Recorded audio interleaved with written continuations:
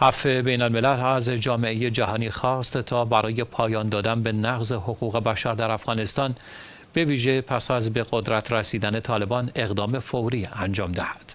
این سازمان در بیانیه‌ای وضعیت کنونی افغانستان را بحران شدید حقوق بشر توصیف کرد و به سرکوب جنسیتی، شکنجه و دستگیری های خودسرانه اشاره کرد. همچنین محدودیت های تحصیلی زنان و آزادی بیان و بازگشت مجازات های بدنی را محکوم کرد.